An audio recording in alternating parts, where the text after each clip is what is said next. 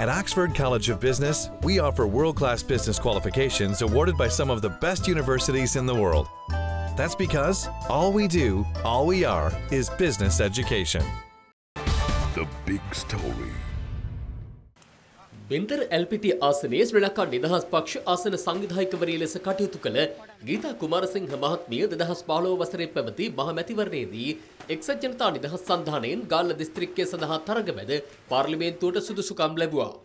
ඒ මනාප ඡන්ද 63955ක් ලබා ගනිමින් එම මැතිවරණයේදී ගාල්ල දිස්ත්‍රික්කයෙන් එක්සත් ජනතා නිදහස් සන්ධානයට මන්ත්‍රී ආසන 6ක් හිමි වූ අතර ගීතා කුමාරසිංහ මහත්මියට මනාප ලයිස්තුවේ පස්වන ස්ථානය හිමි වුණා. මෙලෙස පළමු වරට පාර්ලිමේන්තු වරම් හිමි කරගත් ගේතා කුමාරසිංහ මහත්මිය ද්විත්ව පුරවැසි භාවය හිමි අයෙකු බව පවසමින් ගාල්ල ප්‍රදේශයේ ඡන්දදායකින් සිව් දෙනෙකු අධිකරණය හමුවේ පෙත්සමක් ගොනු කරන්නේ එම වසරේම මාර්තු මාසයේදී. පෙත්සම මීට පෙර කැඳ වූ අවස්ථාවේදී නීතිපතිවරයාගේ ස්ථාවරය පිළිබඳව කරුණු දැක් වූ නියෝජ්‍ය සොලිසිටර් ජෙනරාල් ජනක්ද සිල්වා මහතා අභ්‍යාචනාධිකරණයට දන්වා සිටියේ වගඋත්තරකාර ගීතා කුමාරසිංහ මහත්මිය ඉකුත් පාර්ලිමේන්තු මැතිවරණය සඳහා නාමයෝජනා කැඳවන අවස්ථාව වන විට ස්විට්සර්ලන්ත පුරවැසි භාවය ලබා සිටි බවත් එසේ තිබියදී මන්ත්‍රීවරියක ලෙස පත්වීම හෝ එම තනතුරේ කටයුතු කිරීම සුදුසු නොවන බවයි. ඒ අනුව ඇය පාර්ලිමේන්තු මන්ත්‍රී වරප්‍රසාද හිමිකම් වලට යටත් නොවන බවත් ඇය ස්විස් පුරවැසි භාවයෙන් නිවත්වේ ඇති බවට ප්‍රකාශ කළද ඒ බව තහවුරු කිරීම සඳහා ලිපිලේඛන ඉදිරිපත් කිරීමට අපොහොසත්ව ඇති බවත් නියෝජ්‍ය සොලිසිටර් ජෙනරාල්වරයා අධිකරණයට දන්වා තිබෙනවා.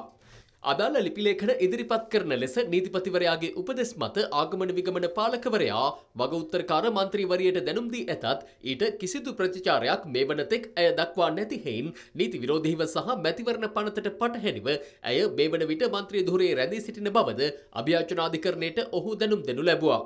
පෙත්සමට අදාළ නඩුව අද අභ්‍යාචනාධිකරණ සභාපති විනිසුරු විජිත් මලල්ගොඩ ප්‍රමුඛ ත්‍රිපුද්ගල විනිසුරු මඩුල්ලක් හමුවේ විභාගයට ගත් අවස්ථාවේදී ශ්‍රී ලංකාවේ සහ ස්විට්සර්ලන්තයේ ද්විත්ව පුරවැසි භාවය දරන පුද්ගලයෙකු ආණ්ඩුක්‍රම ව්‍යවස්ථාවේ දහ නවවන සංශෝධනයට අනුව පාර්ලිමේන්තුවේ මන්ත්‍රී ධුරයක් දැරීම නුසුදුසු බව අභ්‍යාචනාධිකරණය තීරණය කර තිබෙනවා. ඒ අනුව අභ්‍යාචනාධිකරණය තීන්දුව ප්‍රකාශයට පත් කරමින් නියෝග කළේ ගීතා කුමාරසිංහ මහත්මිය මන්ත්‍රීවරයක් ලෙස දෙවුරුම් දුන් දිනේ සිට ඇය වෙනුවෙන් දරූ සියලු බියදම් යළි අය කරගන්නා ලෙසයි. නඩු තීන්දුව ප්‍රකාශයට පත් කිරීමෙන් අනතුරුව පෙත්සම්කාර පාර්ශවය මාධ්‍ය වෙත අදහස් පළ කළා. අධිකර ජනාධිපති මෛත්‍රීපාල සිරිසේන මැතිතුමන්ට ලිඛිත දැන්වීමක් කරමින් අපි අභ්‍යාචන අධිකරණයේ පෙස්සමක් ගොනු කරා. අද ඒ සම්බන්ධ අපි ඒ සාධාරණ ඉෂ්ට වෙලා තියෙනවා. ඒ නිසා අපි අද බොහොම වාක්‍යකින් ප්‍රකාශ කරනවා ගීතා කුමරසිංහ මැතිණියත් එක්ක පෞද්ගලික වෛරයක් නැහැ. අපි එතුමියට කියනවා ඊළඟ මැතිවරණයේ දිත්ත පුරසභාව අහෝසි කරගෙන ගාල්ල දිස්ත්‍රික්කයේ ශ්‍රී ලංකා සප්පන් ඡන්දය ඉල්ලන්න අපි සහයෝගය දක්වනවා. කෙසේ වෙතත් අභ්‍යාචනාධිකරණය ලබා දුන් තීන්දුවට එරෙහිව ශ්‍රේෂ්ඨ අධිකරණයට පෙත්සමක් ඉදිරිපත් කරන බව ගීතා කුමාරසිංහ මහත්මිය පවසනවා. හැට පන්දාහක් මට චන්දදීපු ජනතාවට වෙච්ච අසාධාරණයක් මේක. වගේම දකුණු පලාත නියෝජනය කරන්න හිටපු එකම කාන්තාවට වෙච්ච අසාධාරණයක්. මට ආදරය කරන සියලු දෙනාගෙන් ඉල්ලා සිටිනවා. මට මේ වෙච්ච අසාධාරණය පිළිබඳ කලබල වෙන්න එපා. ශ්‍රේෂ්ඨාධිකරණයේදී මට සාධාරණයක් ඉෂ්ට වෙයි කියලා මම අනිවාර්යෙන් බලාපොරොත්තු. මම ඡන්දෙට එද්දි මේ ඡන්ද නීතිවල තියෙනවා නාම යෝජනා බාර දෙනකොටම යම්කිසි ප්‍රශ්නයක් තියෙනවා නම් ඉදිරිපත් කරන්න කියලා. එහෙම කවුරුවත් ඉදිරිපත් කරේ නැහැ. മന്ത്രി කෙනෙක් වුණාට පස්සේ දින ගණනක් දෙනවා ඡන්ද පෙස්සමක් දාන්න කියලා. ඒ කිසි කෙනෙක් ඒ දෙයක් කරේ නැහැ. මට විතරක් නෙවෙයි මේක. පාර්ලිමේන්තුවේ ඉන්න සියලුම മന്ത്രിවරුන්ට ඇති අභියෝගයක් වෙනවා. ඉදිරියේදී බල මේ මුකුත්ම නැහැනේ මං ආණ්ඩුවට එකතුලා ආණ්ඩුවේ කට්ටියත් එක්ක අත්වල බැඳගෙන ඒගොල්ලන්ට උදව් කරා නම්. මීට පෙරදී ඔබතුමිය කියලා තිබ්බා පුරවැසි භාවයේ ඉවත් කර ගැනීම සම්බන්ධව ලිපි ලේඛන ඔක්කොම අධිකරණයට ඉදිරිපත් කරනවා කියලා. ලෝකේම පළවෙනි කෙනා ස්විට්සර්ලන්ත පුරවැසි භාවයක් අයින් කරගත්තා. ඒ තානාපති කාර්යාලය විසින් එක කිව්වා. මට ඡන්ද දීපු ජනතාව වෙනුවෙන් මම ඒකත් කරා. ඒක නෙමෙයි මේක ඇතුලේ තියෙන වෙන ප්‍රශ්නයක්. මේ සඳහා දියත් වෙච්ච කුමන්ත්‍රණය අන්තිමට අහන්න පුළුවන් මෙන්න මෙහෙම. ඊයේ ගෝල් ෆේස් පිටනියේදී මහා ජනතාවක් රැස් වුණා. ඔබට දැන් සතුටුයිද කියලා විතරයි අහන්න පුළුවන්.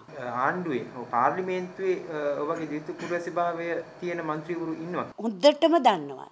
මගේ මේ ස්විට්සර්ලන්තේම පුරසිභාවයේ තියෙන අය ඉන්නවා. මේ රටේ ඇමතිකනුත් කරනවා. ඒව ගැන කිසිම ප්‍රශ්නයක් නැහැ. මොකද ඒගොල්ලෝ හුඟක් වෙලාට ජාති ආර්ථික ලයිස්තු වලින් ආපු අය. මගේ වෙලා තියෙන්නේ ඡන්දෙන් පෙරදිච්ච අය ඉන්නෝනේ මට පල්ලෙහෙන්. ඔක්කොම නෙවෙයි එක්කෙනෙක්. එයා තමයි ඊයේ රාත්‍රියේ වෙනකොට ඒගොල්ලෝ මිනිසුන්ට රතිඤ්ඤ බෙදාගෙන ගියාලු. අද උදේ දෙන තීන්දුව පිළිබඳ ඊයේ රාත්‍රියේ රතිඤ්ඤා පත්තු කරන සූදානම් ගැන මේ മന്ത്രിවරයාගෙන් මං අහන්නේ ලෑස්ති ජනතාව ඔබ පිළිගනීද?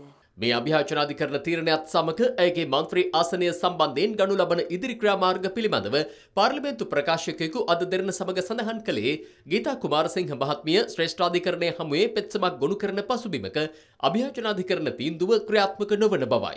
ඒ අනුව ශ්‍රේෂ්ඨාධිකරණ නඩු තීන්දුව ලැබෙන තුරු ගීතා කුමාරසිංහ මහත්මියගේ පාර්ලිමේන්තු මන්ත්‍රීධූරය අහෝසි නොවන බවද ඔහු සඳහන් කළා.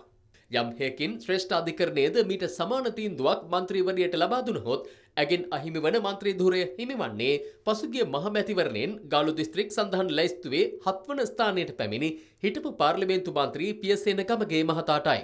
ඒ ලයිස්තුවේ ඊළඟට සිටින කෙනා තමයි මන්ත්‍රීවරය බවට පත්වෙන්නේ. ඊළඟ අවස්ථාව ලැබෙනවනං අනිවාර්යෙන්ම ඒ අවස්ථාව ලැබිය යුත්තෙමට ඒ අනුව ඊට පසුව කටයුතු පක්ෂේ ලේකම්වරයා විසින් සිදු කරනු ඇති. ඒක නොබතුමා දැන් පාලිමෙන්තුවෙන් ඇඳුම් ලැස්ති කරනකට දෙන්නේ මම ඉතින් ඇඳුම් දාඇත්ති කරන්න අවශ්‍ය නෑ. මම හිටප පන්ත්‍රීවරෙක්නේ ආපහු ඇඳුම් මහන්න දෙයක් නෑ. ඇඳුම් තියන ගත්ත ගත්තේවත් තාම තියෙන.